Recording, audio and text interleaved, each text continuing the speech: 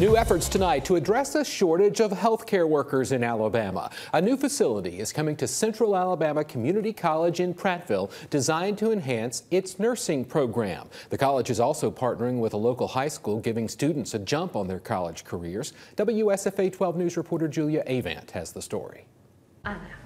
CACC in Prattville is investing in Central Alabama's future generation of workers. This year, they've taken two big steps to do that. First, they've converted an old daycare on campus into a new state-of-the-art nursing facility stocked with new labs and medical simulation rooms part of an effort to make sure they have everything they need to train students on site. Previously, our students were having to drive to Alex City or to Childersburg campuses, um, so this has afforded a lot of our students the ability to be able to come here.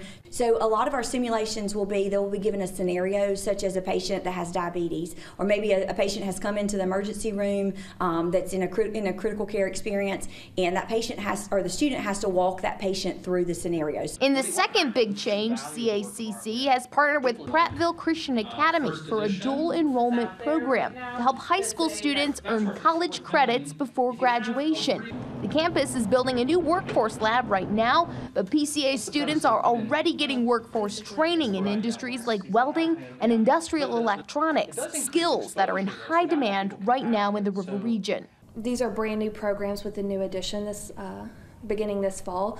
Being able to grow these programs um, getting the word out to have more students come in, you know, gives us better numbers.